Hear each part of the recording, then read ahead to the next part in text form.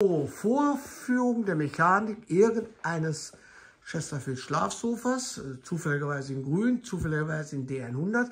Aber das, was wir jetzt vorführen, gilt für alle.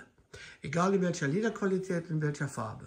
So, auf los geht's los. Wir, wir nehmen zuerst die drei Kissen raus.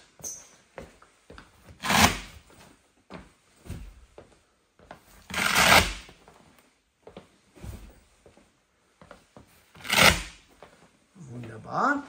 Jetzt fahren wir ganz vorsichtig dieses Bett raus. Da muss man am besten vorsichtig bis zum Anschlag. Ja, genau. Jetzt. Ja, weiter. Ist aber ich sage ja. So. Vorsicht zu einem rüberziehen. Ja, genau, richtig. Gerade. Und jetzt umlegen. Richtig. Super. Das war schon alles. Einfach vorsichtig aufklappen. Und jetzt kommt ein, irgendeine Bettdecke. Hier kann man es nochmal so ein bisschen festbinden. Ist aber nicht so wichtig. Es kommt irgendeine Bettdecke da drauf.